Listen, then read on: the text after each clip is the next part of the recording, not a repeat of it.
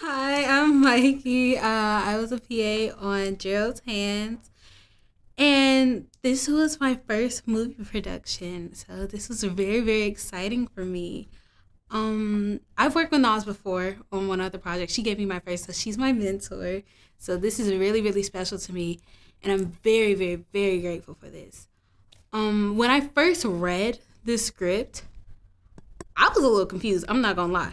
I was like, how are we gonna pull this off completely where it doesn't come off as a mockery in some way? Cause a lot of movies they wanna pursue a message, but it can come off really weird and mocking. And within this, it was no form of mockery. It was an amazing experience. You understood how a person on the spectrum of autism lives their life just a normal person.